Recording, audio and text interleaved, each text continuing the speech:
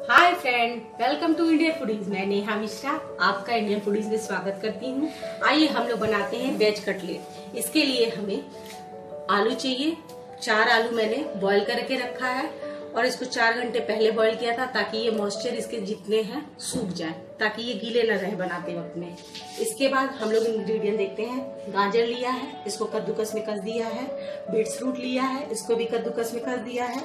मटर लिया है फ्रोजन मटर लिया है।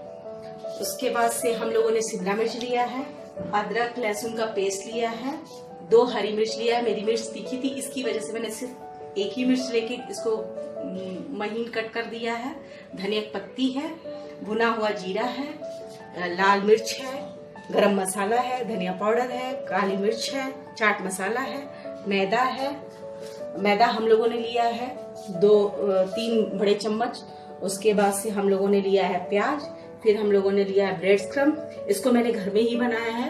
आ, मार्केट का भी आप ले सकते हो। ये मार्केट में भी अवेलेबल है। इसके बाद से हल्दी नमक तेल। आइए हम लोग बनाते हैं वेज कटलेट। सबसे पहले हम लोग कढ़ाई गरम कर लेते हैं। अब इसमें हम लोग करीब एक चम्मच दो चम्मच के बराबर तेल डालते हैं।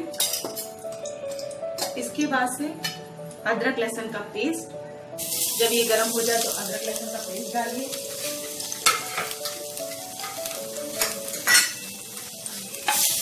चलाएँगे इसके बाद से शिमला मिर्च।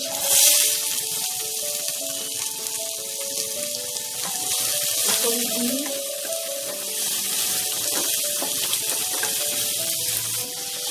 फिर हम लोग डालेंगे इसमें प्याज। इसको भी भूनेंगे।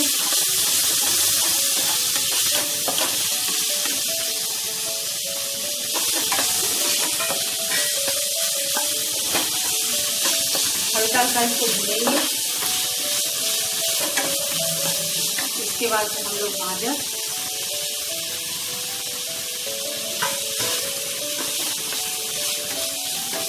बीटरूट फ्रोजन मटर।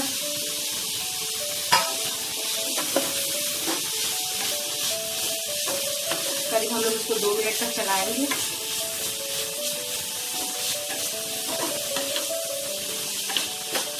बाद हम लोग इसमें मसाला डालते हैं। लाल मिर्ची। लाल मिर्ची आप खाने के अकॉर्डिंग अपने हिसाब से डाल सकते हैं। थोड़ा सा चाट मसाला, थोड़ा सा धनिया पाउडर थोड़ा सा गरम मसाला, थोड़ा सा जीरा, भुना जीरा।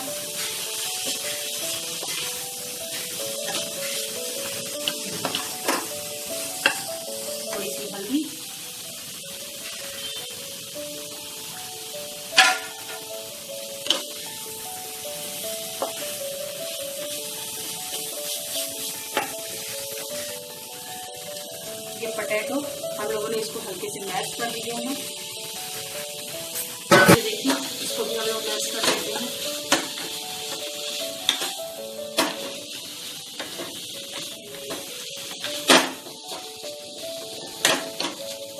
स्वाद के अकॉर्डिंग आप नमक डाल लीजिए।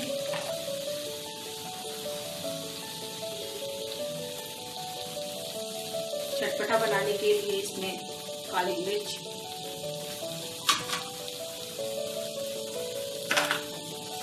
चला।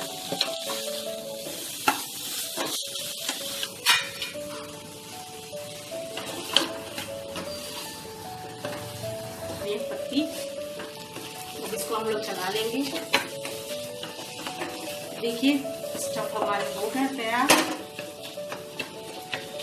इसको आप लोग चाहे तो थोड़ा सा टेस्ट करके देख लेंगे, सब बराबर है कि नहीं। ये हम लोगों का तैयार हो गया। अब हम लोग गैस बंद कर देते हैं और इसे खाली कर देते हैं।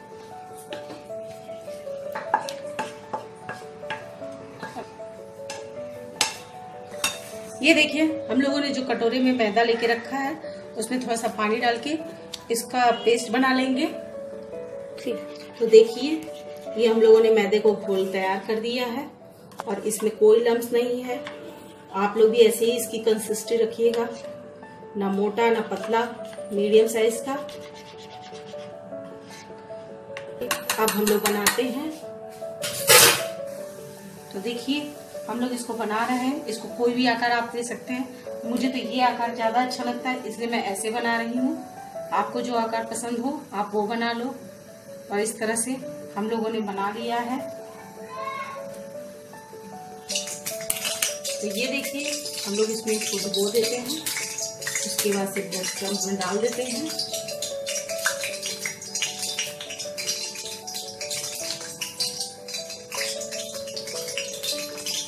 तो ये देखिए, हमारे कटलेट तैयार हो गए आप इसको मनचाहा आकार दे सकते हैं, छोटे में, बड़े में, जैसा आपकी इच्छा हो वैसा करिए।